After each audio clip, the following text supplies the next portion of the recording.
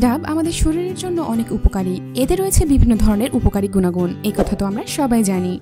পানির পিপাসা। শরীরে পানি শূন্যতার নির্দেশ বলে জানলেও পিপাসা পাওয়ার অনেক আগে থেকেই কিন্তু শরীরে পানির ঘাটতি দেখা দেয় এবং সারাদিন রোজা রেখে ইফতারে আমরা সবচেয়ে বেশি তৃষ্ণার্ত হয়ে থাকি। তাই পানির পাশাপাশি বিভিন্ন পানীয় আমরা ইফতারে রাখি। যেমন বিভিন্ন ফলের রস, প্যাকেটের জুস মিল্ক পাউডার, রুয়াফজা ইত্যাদি। কিন্তু এগুলো কতটুকু স্বাস্থ্যকর? বেশিরভাগ প্রসেস করার সময় বিভিন্ন প্রিজারভেটিভ উপাদান অ্যাড করা হয়। অতিরিক্ত মাত্রায় চিনি থাকে, তাই প্রচুর পরিমাণে পানি পান করাই সবচেয়ে ভালো। তারপরও যেসব পানীয় প্রাকৃতিক বা কম ক্যালোরিযুক্ত, সেগুলো নিতে পারেন, যেমন ডাবের পানি, লেবুর শরবত। মিষ্টি স্বাদের ডাবের পানি আমরা সবাই পছন্দ করি, এর পুষ্টিগুণও কিন্তু অনেক। ডাবের পানিতে পঁচানব্বই শতাংশই পানি থাকে, তাই শরীরে পানির চাহিদা পূরণ করতে সবচেয়ে দ্রুত কাজ করে। শুধু পানির চাহিদা নয়, ইলেকট্রোলাইট ব্যালেন্স করতেও ডাবের পানি অনেক উপকারী।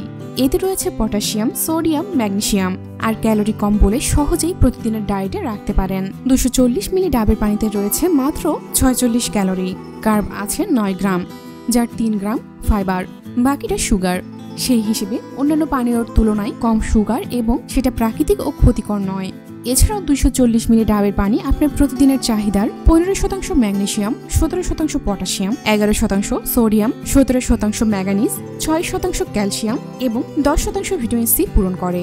তাই অবশ্যই চেষ্টা করবেন তাজা ডাবের পানি পান করতে। বোতল বা ক্যানে যেসব পাওয়া যায় তাতে ফ্লেভার ও সুগার থাকে। অবশ্যই এগুলো অ্যাভয়েড করবেন অথবা নিউট্রিশন ভ্যালু চেক করে নেবেন।